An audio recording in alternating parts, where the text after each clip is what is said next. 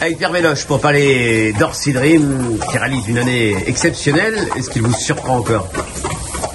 Euh, non, pour le moment, il est dans, ce qu'on attend de lui. hein. On lui a évité.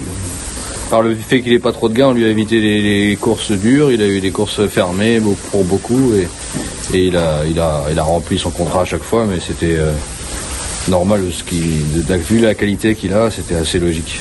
Vous avez vite vu que vous déteniez un bon cheval quand il est arrivé chez vous Bah oui, bien sûr. Déjà, euh, quand même, euh, l'historique de ses performances était quand même flatteuse. À 3 ans, il avait des chronos assez intéressants, euh, de 12 et fractions sur la distance classique, donc c'était déjà signe de qualité. Mais oui, au, feeling, on sentait que c'était un cheval assez sympa. Depuis le mois de mars, il a gagné 7 courses, pris environ 210 000 euros. C'est assez impressionnant quand même. Ah ouais, mais quand on est un an sans courir avec un cheval de niveau groupe, c'était à moi de pas le gâcher pour euh, l'amener au niveau euh, le samedi. Quoi. Et là, il est au départ d'un groupe 1, le prix Ténor de Beaune samedi. Voilà. Mais là, on, a, on affronte euh, du top niveau euh, avec des étrangers, une vraie belle course pour le sport. Ça va être intéressant et un vrai challenge. Il a travaillé ce mardi matin? Oui. Ouais, le cheval a travaillé en 2-8 et bon, il est assez, il est assez prêt. On n'a pas, on n'invente pas grand chose. Il a juste fait un, un deuxième 8 euh, sur un parcours. Il avait fait de l'intervalle la semaine dernière et là, il a fait un parcours dans le dos des autres et il est venu euh, pour finir sur, euh, sur eux avec une, du panache et de la souplesse. Vous dites un vrai challenge. C'est vrai que le, le gagnant du Ténor de Beaune est directement qualifié pour l'Amérique. C'est le but?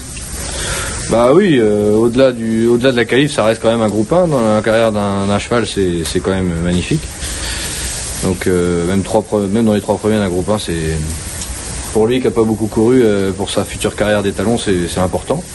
Et puis bah, si on peut gagner, forcément, on, on refusera pas l'invitation, mais toute euh, proportion gardée, là, on est, on n'est plus dans la même cour. Là, on affronte euh, Calgary Games qui a annoncé comme un crack. Il y a une jument gagnante de groupe 1 et puis il y a les meilleurs français. Donc c'est un petit peu un plateau qui paraît plus relevé que le critérium de 5 ans. Et pour revenir au critérium de 5 ans, il était déféré des 4 pieds ce jour-là. Il aurait pris une place sans une faute à la fin. Oui, oui, oui, mais c'était pas lié au déferrage. Le cheval était parfait. Il avait seulement contre lui de ne pas avoir euh, assez couru sur la grande piste avant, avant le critérium. Il n'était pas assez euh, aguerri euh, à la, à la distance et je sentais qu'il n'était pas aussi bien qu'actuellement. C'est déréglé pour finir pour une erreur de, de guide qui s'est coincé sous la queue. Donc euh, on oublie et c'est sur- c'est surtout pas dû au déferrage. Et là, justement, il sera pieds nus. Vous avez tout fait pour euh, qu'il ait de bons pieds le jour J. Oui, oui, oui, le cheval a, a de- bons pieds. euh, toute l'équipe et le maréchal sont aux petits soins pour lui, donc euh, sauf si ça remettait à geler, mais normalement on est, on est bon, on va pouvoir le déférer. Et devancer Calga- Calgary Game ou autre, c'est possible? Ah, on est chaud nous. hein. Oui, il a un avantage. Il peut aller devant comme, comme attendre. Ouais, on a essayé de l'habituer un peu à, à toutes sortes de stratégies. C'était pas trop le cas au début parce que j'étais un peu en retard de gain et je prenais pas de risques, j'allais souvent devant. Mais dès l'été, on a couru quelques fois dans les autres et puis là, dernièrement avec Eric, euh, on était devant. Le coup d'avant, il avait quand même subi un petit peu au, au début. Non, il s'habitue maintenant à, à tout ça. Le coup est jouable?